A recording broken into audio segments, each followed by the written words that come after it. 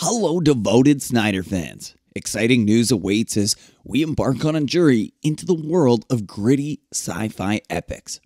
While Dune Part 2 takes center stage this year, filmmaker Zack Snyder has a fresh space adventure in the works for Netflix. After a period of secrecy, we finally catch a glimpse of Rebel Moon, a movie that initially sprouted from a Star Wars pitch but has since evolved into a captivating dark tale exclusive to Netflix. Moreover, Snyder tantalizes us with a fresh synopsis for his space opera, which we'll soon explore in depth. Joining us on this thrilling venture is Rebel Moon, a brand new science fiction film on Netflix, skillfully directed by Zack Snyder and featuring the talented Sofia Boutella in a leading role. From Zack Snyder, the filmmaker behind 300, Man of Steel, and Army of the Dead, comes Rebel Moon, an epic science fantasy event decades in the making, reads the film synopsis. The synopsis also has when a peaceful colony on the edge of a galaxy finds itself threatened by armies of a tyrannical ruling force, Kora, or Sofia Boutella, a mysterious stranger living among the villagers becomes their best hope for survival. Tasked with finding trained fighters who will unite with her in making an impossible stand against the mother world, Kora assembles a small band of warriors. Outsiders, insurgents, peasants, and orphans of war from different worlds who share a common need for redemption and revenge. As the shadow of an entire realm bears down on the unlikeliest of moons, a battle over the fate of a galaxy is waged, and in the process, a new army of heroes is formed. Reading just this makes us excited and has really heightened our expectations for the Rebel Moon through the roof.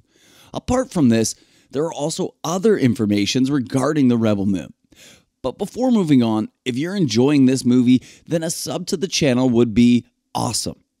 Moving forward, there are rumblings suggesting that Rebel Moon is set to become a trilogy. Surprisingly, the project is operating on a modest budget and will draw inspiration from novels. Now, let's dive into the details of these books. The first titled Rebel Moon Creating a Galaxy World and Technology, authored by Peter Aperlo, is scheduled to release on December 26. Apollo, known for his work on books related to the Army of the Dead and Batman vs. Superman, promises an immersive experience. The second book is a novelization of Rebel Moon penned by V. Castro, hitting the shelves on December 5th.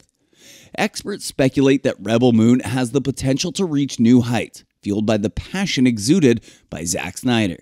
The expansive universe he envisions is captivating, promising multi layered storytelling. Netflix, recognizing the franchise's potential, has a long term vision for Rebel Moon, contingent on the success of parts 1 and 2. In addition to the trilogy, there are ready plans for two books, a graphic novel, and an animated prequel, and an RPG game is in the works. However, if parts 1 and 2 Farewell, the possibilities extend far beyond this. Spin off shows, prequel stories, and additional graphic novels could emerge, presenting endless potential for the franchise. Moreover, Snyder intends to deliver remarkable CGI despite a modest budget of $80 million, comparable to the cost of completing the Mandalorian series.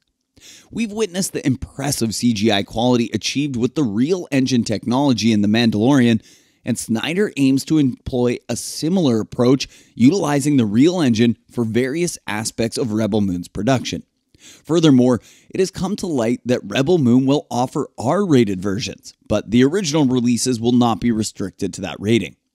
This decision enables a broader audience, including younger viewers, to engage with Rebel Moon narrative, while also providing an R rated experience for those seeking it. With the groundwork laid, the eagerly anticipated Rebel Moon Part 1 is slated for release on December 22nd, with Part 2 expected to follow shortly after.